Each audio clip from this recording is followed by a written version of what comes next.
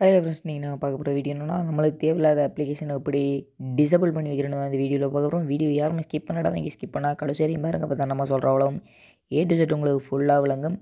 Okay நம்ம வீடியோக்குள்ளே போகிறதுக்கு முன்னாடி நம்ம சேனலில் நீங்கள் சப்ஸ்கிரைப் பண்ணலன்னா இப்போவே சப்ஸ்கிரைப் பண்ணி கூட வர பெல் சிம்பிளையும் கிளிக் பண்ணுங்கள் அப்போ தான் நம்ம போகிற லேட்டஸ்ட் வீடியோஸ் உங்களுக்கு நோட்டிஃபிகேஷனாக வந்துக்கிட்டே இருக்கும். வாங்க நம்ம இப்போ வீடியோக்குள்ளே போகலாம் நம்ம இப்போ முதல்ல பண்ண வேண்டியது என்னென்னா ஏதாவது ஒரு அப்ளிகேஷனை சூஸ் பண்ணிக்கலாம் அதாவது பார்த்தீங்கன்னா மொபைலோட வந்த அப்ளிகேஷன் மட்டும்தான் டிசபிள் பண்ணலாம்.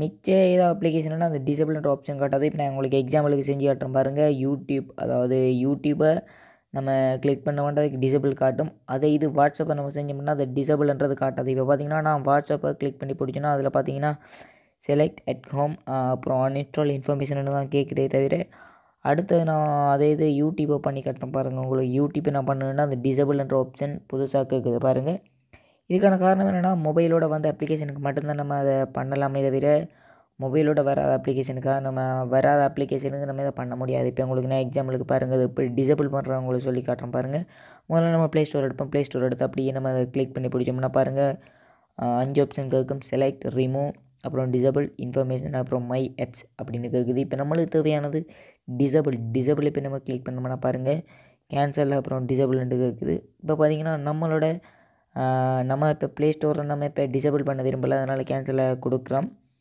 உங்களுக்கு அதை நீங்கள் டிசபிள் பண்ணணும்னு நினச்சிங்கன்னா டிசபிள்னு இருக்குது பாருங்கள் அதை கிளிக் பண்ணிங்கன்னா அது உங்களோட மொபைல்லேருந்து டிசபிள் ஆகிடும் அதாவது எப்படின்னா அந்த ஸ்டோரேஜ்ன்றது உங்களுக்கு யூஸ் அதாவது இப்போ அது ப்ளே ஸ்டோருக்காக யூஸ் பண்ணிடுற ஸ்டோரேஜ்ன்றது ஃப்ரீ ஆகிடும் அதனால் நீங்கள் அந்த ஸ்டோரேஜ் பதிலாக வேறு ஏதாவது நீங்கள் டவுன்லோட் பண்ணிக்கலாம் ஏதாவது நீங்கள் வச்சுக்கலாம். இப்போ பார்த்தீங்கன்னா உங்களுக்கு அதே ப்ளே ஸ்டோர் வேணும்னா நீங்கள் டிசபிள்லேருந்து எனபிள் பண்ணிங்கன்னா ஓகே உங்களோட ப்ளே ஸ்டோர் எனபிள் ஆகிடும் ஓகே இது ஒரு சிம்பிள் மெத்தட்டாக காணப்படும்னு நினைக்கிறேன். இந்த வீடியோ எல்லாருக்குமே ஒரு யூஸ்ஃபுல்லாக இருந்திருக்கும். இன்னொரு இன்ட்ரெஸ்டிங்கான வீடியோவில் உங்களை வந்து மீட் பண்ணுற அது வரையிலையும் டேக் கேர் பாய் பாய்